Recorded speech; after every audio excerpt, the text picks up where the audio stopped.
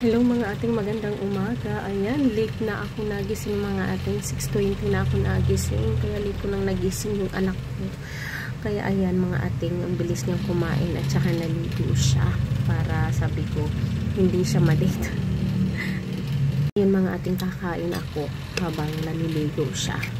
Kasi pagpasakay ko sa kanya mamaya, didiretso na ako ng talipapa. Bibili ako ng ulam namin pananghalian kain tayo. May biro na akong bahaw dito na kanin at saka itlog at saka kape. Sold, sold.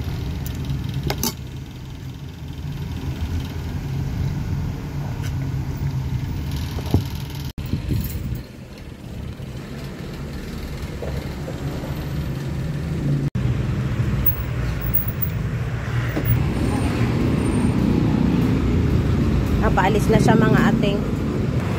Babantay kami mga ating ng jeep. O, ayan na. Oh, ingat ka ha. Oh, bye-bye.